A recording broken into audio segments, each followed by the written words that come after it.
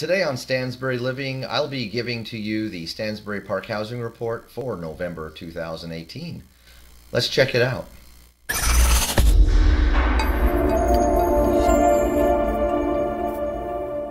Hey everyone, and welcome back to Stansbury Living. My name is Trent Ladle. I am a realtor with A. Warner Homes and Real Estate here in Stansbury Park, Utah. If you are curious about the housing market in Stansbury Park, I've got the latest sales information from the month of October 2018. As I mentioned last month, if you're like me and love to geek out on statistics and numbers, stay with me on this. You will enjoy it. In October, there were 14 home sales in Stansbury Park. This was down by 10 units from September. Total volume of sales dollars in Stansbury Park for October was down just over 2.8 million from September, coming in at just under 4.5 million dollars. The average original listing price for October was $328,000, while the actual average selling price in Stansbury Park was $320,000.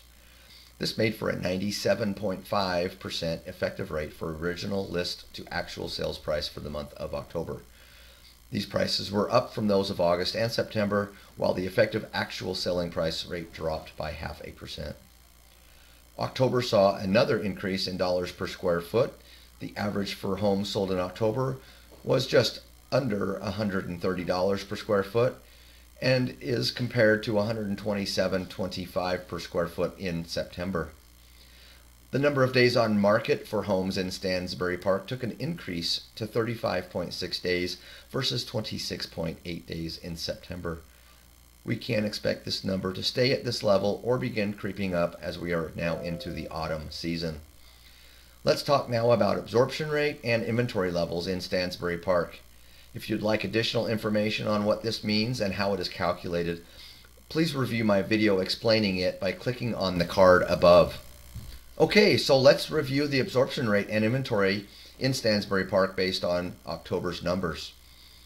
For the previous 12 months, the absorption rate was 26.17 residential sales per month, with inventory of 1.91 months supply of homes.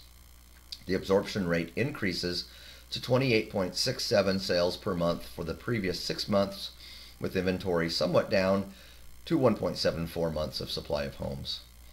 Jumping to the last two months, the absorption rate dropped to 25 sales per month, while the inventory increased to two months of supply. So what does all this mean? If you're wanting to sell your home, you want to do it now.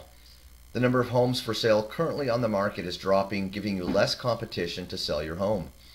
Sales prices to original list price is still staying strong, and you should get a close to market offer on your home. If you are a home buyer, you need to be aware of new or upcoming listings so that you can get your real estate agent to schedule you a showing of that property as soon as possible.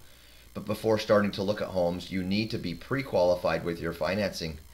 This is important because your offer to purchase will be stronger than one without pre-qualification because you can schedule a closing date sooner. If you're looking to sell your home or looking to purchase a home, I would love to help you out with that. If you're needing to be pre-approved for financing, I have great preferred lenders that will work with you to get that pre-approval so you can start shopping for homes. And if you find one you like, we can write an offer quickly. I hope this information has been helpful. I know it's that it's a lot of numbers and a ton of information, but like I said, I geek out on this stuff and I like to provide it. I will be providing this same report every month so you can keep up to date along with me on the housing market in Stansbury Park. That will wrap up this month's report, and in the meantime, I will see you over at stansburyliving.com. Take care.